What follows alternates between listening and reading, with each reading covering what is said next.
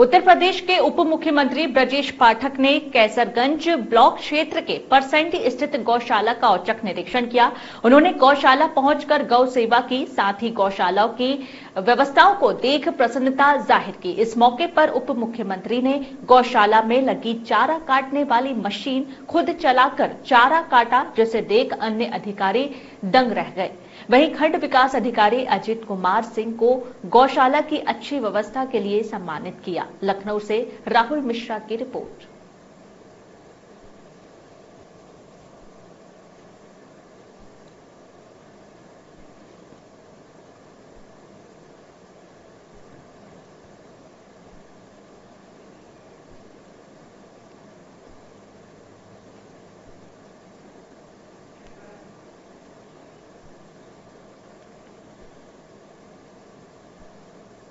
इस पर क्या कहना आपका? बहराइच जनपद के चतुर्मुखी विकास के लिए हमारी सरकार का संकल्प है।